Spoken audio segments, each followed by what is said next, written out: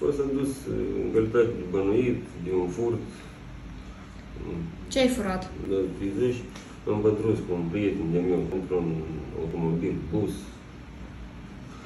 în care a fost sustras o servietă, după care am aflat că era o armă pneumatică acolo și o cutie cu niște utilaje electrice, întrerupătoare, prize, cabluri.